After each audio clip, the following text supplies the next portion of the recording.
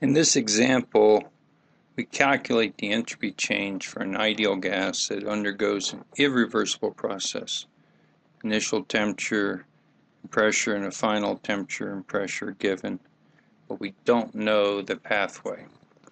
So the the solution, where we start out initial state 200 degrees C, one bar pressure, go through some process to state 2, 110 degrees C, and 10 bar pressure. So the fact that it's irreversible doesn't affect our calculation because entropy is a state function and we're essentially doing the calculation by assuming first a constant pressure process and then a constant temperature process. So for an ideal gas, the entropy change for the gas, we don't know about the surroundings, we would need more information.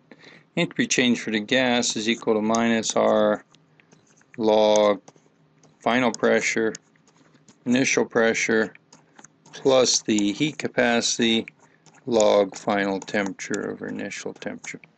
So the important thing to remember that this equation is true as long as we know initial and final conditions we don't need to know the actual pathway. Entropy change for the gas will be the same. Entropy change for the surroundings would be different depending on the pathway. So this is minus 8.314 joules per mole Kelvin for the gas constant, the log of 10 over 1 plus 30.